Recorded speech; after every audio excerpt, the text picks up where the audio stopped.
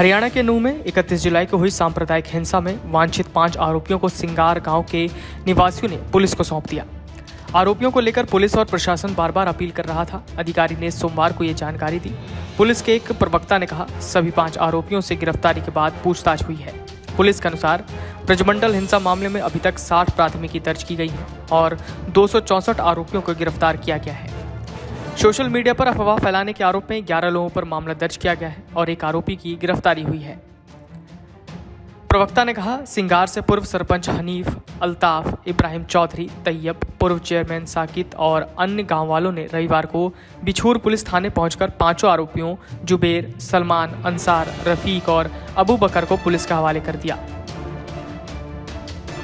जिला आयुक्त धीरेन्द्र खड़गटा ने पुलिस अधीक्षक नरेंद्र बिजारनिया के साथ दो गाँवों के प्रमुख लोगों के साथ शांति बनाए रखने और ये सुनिश्चित करने के लिए बैठकें की हैं कि आरोपी पुलिस के सामने आत्मसमर्पण कर दें।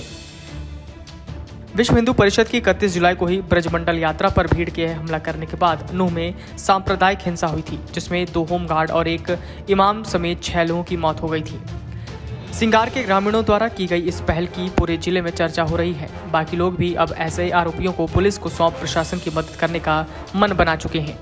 हिंसा में शामिल उपद्रवियों को नूह एसपी नरेंद्र बिजारनिया चेतावनी भी दे चुके हैं।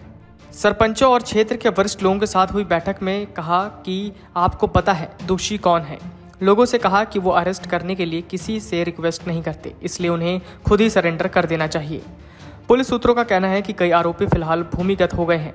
तो वहीं कुछ राजस्थान में अपने रिश्तेदारों के यहाँ पर चले गए हैं। एसपी ने साफ़ कह दिया कि जो भी आरोपी है, उनको अपने आप पुलिस के समक्ष पेश कर दें। अन्यथा पुलिस अपना काम करना जानती है। उन्होंने साफ़ चेतावनी दी कि सोशल मीडिया पर कोई भी व्यक्ति अफवाह ना फैलाए। अफवाह फैलाने की किसी ने भी कोशिश की तो उसके खिलाफ कड़ी कार्रवाई की जाएगी। Video desk, Amar Ujala dot com. Amar Ujala, अब आपके टीवी पर भी। अपने स्मार्ट टीवी पर यूट्यूब पर सर्च करें अमर उजाला। चैनल सब्सक्राइब करें और देखें ताज़ा खबरें। वो भी एचडी क्वालिटी में। और हाँ बेल आइकन दबाना ना भूलें, ताकि हर खबर हो आपके घर। अमर उजाला, निष्पक्ष निर्भी निरंतर।